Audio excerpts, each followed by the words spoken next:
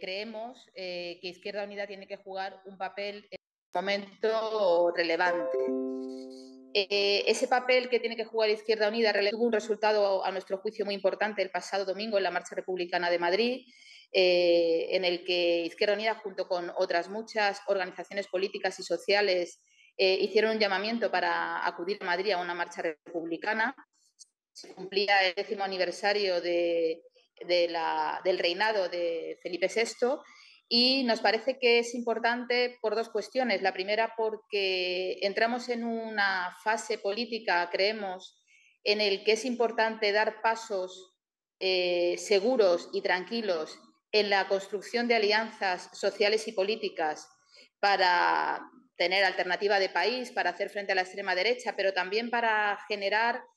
una reputación y una cultura política que creemos es imprescindible que se recupere desde la izquierda transformadora. Por lo tanto, eh, creemos que el objetivo de haber organizado esa marcha eh, tiene mucha importancia. En segundo lugar, porque sin ninguna duda es hora de que los valores republicanos, de que la cultura republicana eh, forme parte del presente y del futuro para construir país y también porque creemos que es hora también de que tengamos el debate de la elección de la jefatura del Estado, que debe ser una decisión democrática, ciudadana y soberana, y por lo tanto eh, es el momento de que estos valores republicanos, como les digo, formen parte de nuestro ideario político y que sea eh, una cuestión que también se le pregunte a la ciudadanía, que el CIS recupere si, eh, bueno, qué opinan de la monarquía y qué opinan de que se pueda elegir a la jefatura del Estado. Han pasado dos cuestiones a nuestro juicio muy importantes a nivel internacional. Una tiene que ver con la reunión del G7, una reunión del G7 eh, que a nuestro juicio supone un blanqueo de la extrema derecha y que ha tenido dos elementos fundamentales. El primero es el recordatorio de que hay organizaciones políticas, instituciones que están en guerra contra las mujeres. No es eh, la cuestión de que Meloni eh, pusiera encima de la mesa la necesidad de que el derecho al aborto no formara parte de la declaración en un contexto internacional, un debate importantísimo sobre los derechos de las mujeres eh, da fe de ello. Y, en segundo lugar, es una, reunión que se produce eh, como si no estuviera produciéndose una guerra terrorífica en otra guerra en Europa eh, con un rearme y con una eh, épica de la guerra que es incontestable y no entendemos cómo es posible que quienes defienden ese rearme, esos países que no están haciendo nada para, por ejemplo, parar a Israel, se sienten en una mesa eh, para, mientras hay, por ejemplo, una orden de detención contra el gobierno de Netanyahu sin que hagan nada. ¿no? Yo creo que el G7 es la demostración de un orden internacional en declive, pero que efectivamente sigue siendo muy peligroso porque sus políticas nos están llevando a la barbarie, al caos, a la guerra y a la máxima inseguridad de la humanidad. Y en último lugar, también como elemento de, relevante de la, cuestión internacional, la que se ha llamado Cumbre de Paz de Suiza, que nosotros eh, creemos que cualquier apelación a la paz, retórica de la paz, siempre es positiva, pero se tiene que acompañar de eh, pasos reales para conseguirlo. Eh, es imposible una cumbre de paz que no protagonistas de la guerra. Eh, la no participación de Rusia ya es un indicativo de que va a ser una conferencia frustrada y a nosotras y a nosotras lo que nos parece es que se tiene que recuperar la cumbre de paz que se produjo en Estambul en abril del 2022 con un borrador que se ha hecho público hace pocos, pocos días, un borrador que firma eh, Rusia eh, y Ucrania, que cuenta con 18 medidas, con seis anexos, que era un paso importantísimo para empezar a hablar de paz con medidas concretas y reales y que es boicoteado, bloqueado eh, por el entonces primer ministro británico, por Boris Johnson, y por el presidente de los Estados Unidos, Biden.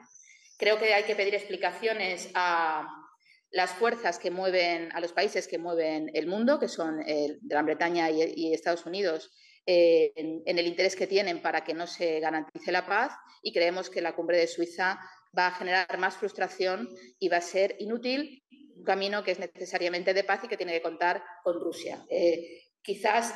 volver a mirar a ese, a ese borrador del Tratado de Paz de abril de 2022 sea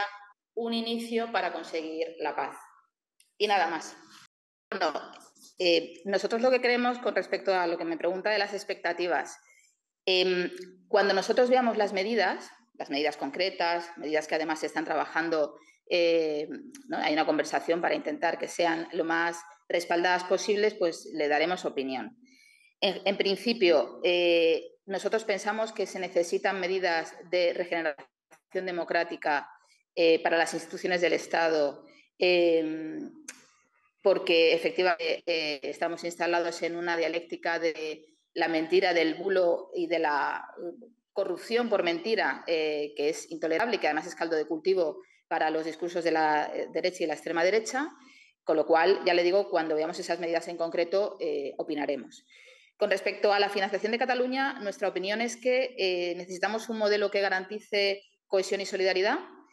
Ese modelo pasa por una actualización y pasa por señalar que las comunidades autónomas mm, gobernadas por el Partido Popular eh, están, eh, mediante el dumping fiscal, mediante las exenciones de patrimonio y sucesiones, desnaturalizando las competencias autonómicas, eh, vulnerando también el derecho que tenemos la ciudadanía de acceder a los servicios públicos y creemos que el momento lo que requiere es una actualización de ese modelo fiscal, que tiene que ser un modelo de cohesión y de solidaridad, y que tiene que afectar al conjunto del Estado. Eh, en ese sentido, eh, bueno, eh, vamos a ver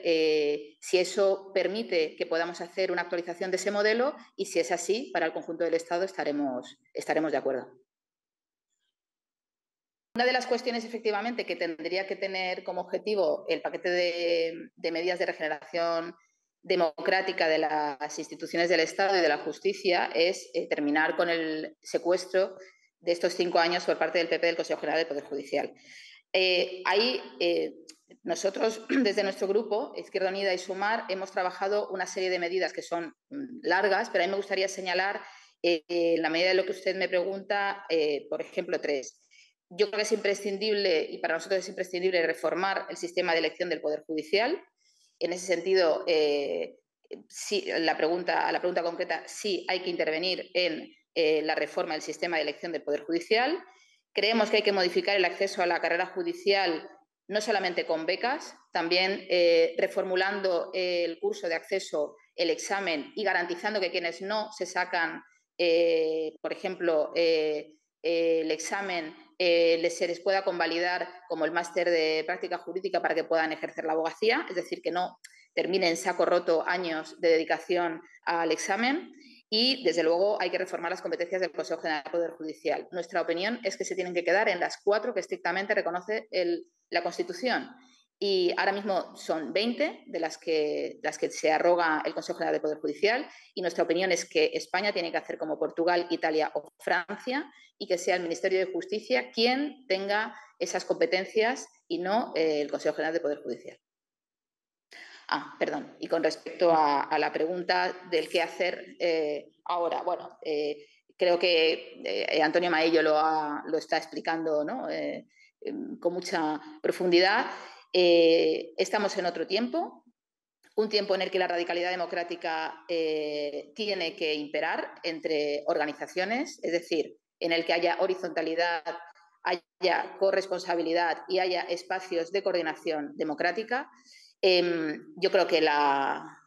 contundencia de los resultados por malos para la izquierda transformadora tiene que hacer que eh, cojamos aire, eh, vayamos paso a paso y en ese sentido nuestra aportación en este momento es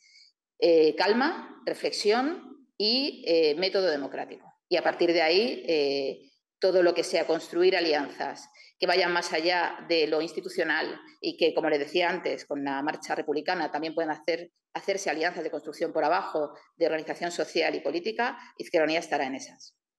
Desde que pasó, desde las elecciones europeas, las conversaciones entre organizaciones se han producido. Eh, yo creo que hay una,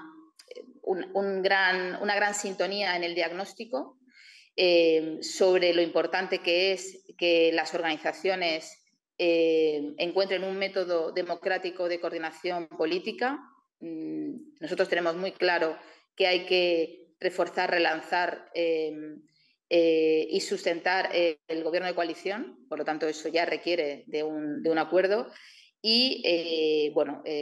se han producido conversaciones, por supuesto, con, con Movimiento Sumar, con Comunes, con Compromís, con Más Madrid, para, para ver cuándo es el mejor momento de que, de, que podamos sentarnos. Como les decía al principio, nosotros, Izquierda Unida, nos encontramos en un momento de, mm, interno de elección de, la dirección. Eh, nos pilló eh, la campaña en mitad, eh, también, entonces necesitamos este tiempo, pero desde luego que se va a producir y yo espero que se produzca antes de las vacaciones.